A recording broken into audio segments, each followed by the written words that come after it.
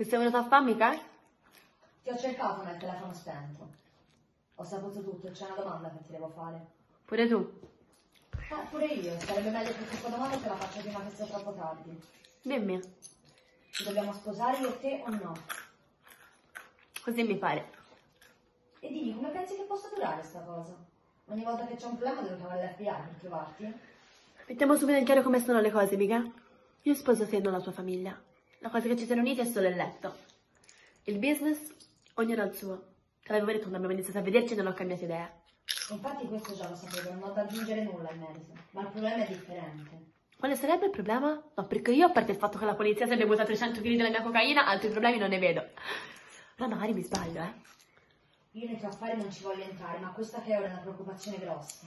E se quando stai nei casini, anziché appoggiarti a tuo marito, chiedergli consigli, tu scappi, io penso che io e te non possiamo andare da nessuna parte, perché prima di tutto l'amore è fatto di fiducia. E tu di fiducia in me non ne hai. Parli bene te, eh? Lo sai perché parli bene? Perché sei l'uomo e gli uomini hanno un grande privilegio.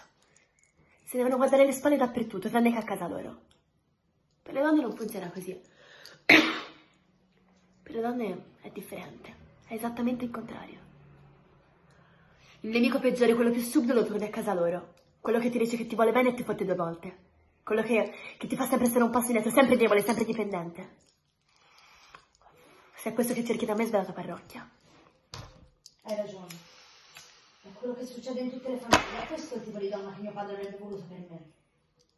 Una moglie che si fa mettere i piedi in testa, che pensa di valere meno di me, che fa quello che dico io quando dico io. Ma io ho scelto te, non un'altra.